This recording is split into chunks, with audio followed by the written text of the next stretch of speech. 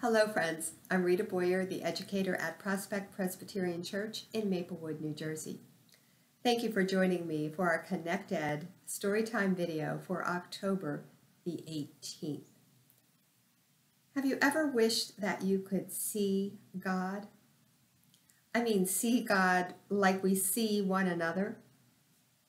Moses did.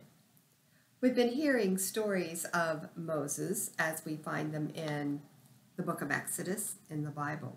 And we know that Moses was a very special friend to God. We know that he often talked with God. And he was a leader who told people what God wanted them to know. But even though Moses had that close relationship with God, he wasn't entirely satisfied. He wanted to see God. And so today I'll be sharing the story Moses Sees God. It's a story that is based on Exodus chapter 33, verses 12 through 23, but it's a story that is told with imagination. And we're grateful to the people from Seasons of the Spirit for providing that imagination in this story.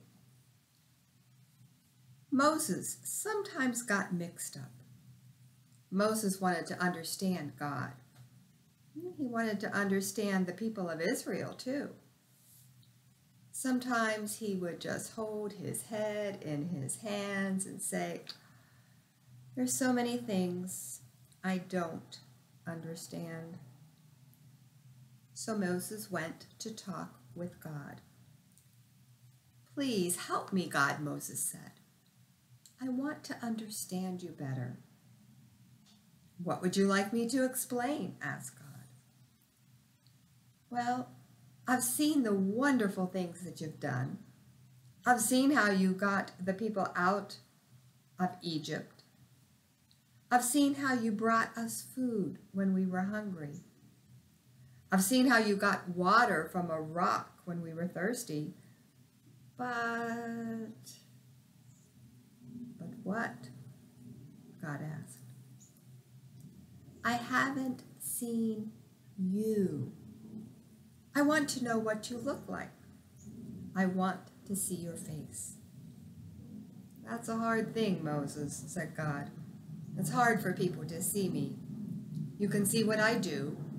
You can feel my love in your heart.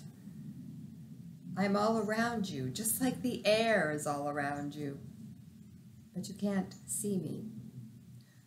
But I want to see you, Moses said. I want to see you so I know who you are. Moses, you've worked very hard to help me. You have worked hard to help the people of Israel. So I'm going to do something very special for you. I can't let you see my face because you see I'm not human like you are. I don't have a head or legs or arms as you have. I'm not a man or a woman. I'm not old or young. I'm different than anything you know. But maybe I can show you something that will help you understand. Go to the big rock that you see right in front of you. There's a crack right through the center of it. Look through the crack. I'll show you something of who I am. So Moses went to the big rock. He looked through the crack. For a while it felt as if a kind, warm hand was covering his eyes. Then the hand went away, and Moses saw. Wasn't exactly sure what he saw, though. Moses tried to tell his sister Miriam about it. It was like a flash of lightning, except it wasn't loud. It wasn't hard. It was as if my whole body filled with light. It was as if I was filled with something good and strong. But what you saw was a light, right? asked Miriam. Well, what I saw was bright and beautiful, but that was only a small part of it, Miriam. I felt God all around me. Now I feel as if I really know God, and I know for sure that God will always be with me and with all the people of Israel.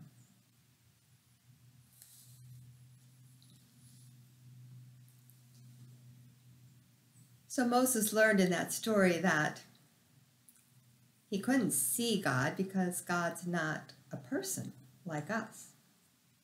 After all, God can be everywhere at the same time. No body can do that. Our bodies can only be one place at a time. God is a spirit, and we can't see God. But we can see what God does. We can see God's love and God's goodness.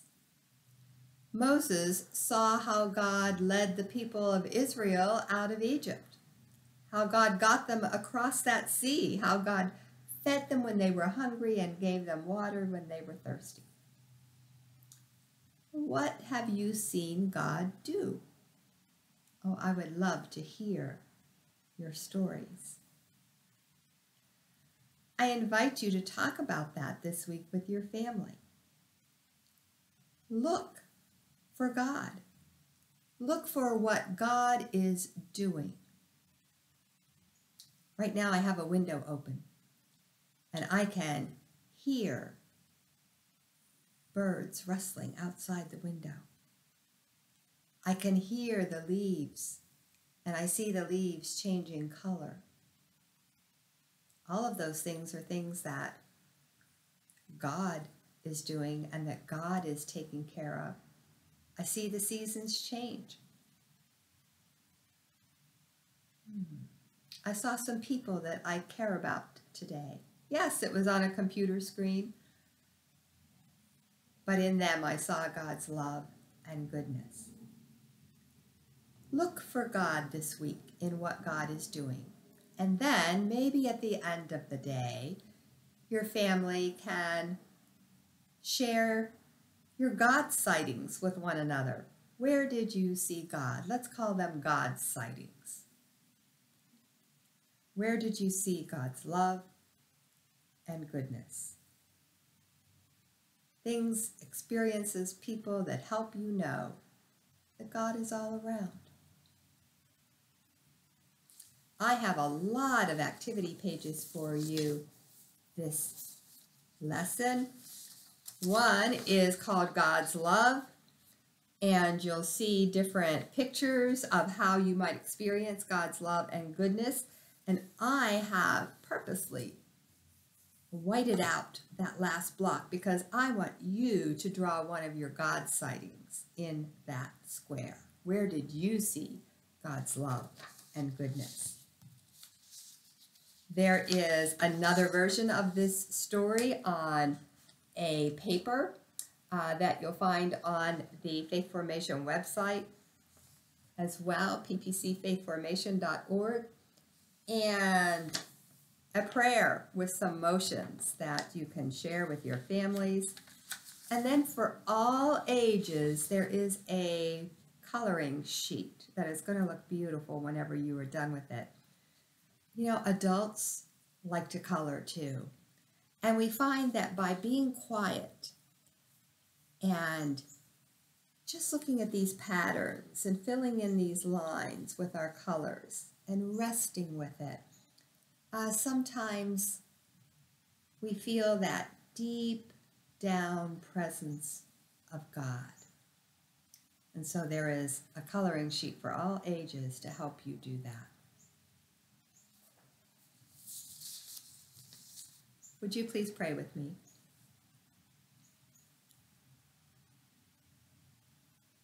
Loving God, we admit that, like Moses, we wish we could see you face to face. Help us to pay attention to all of the things that you are doing around us. We thank you for all of the God sightings where we see your love and goodness, and pray that others might see your love and goodness in our words and actions. For it's in Jesus' name we pray. Amen. Thank you so much for joining me. Bye bye.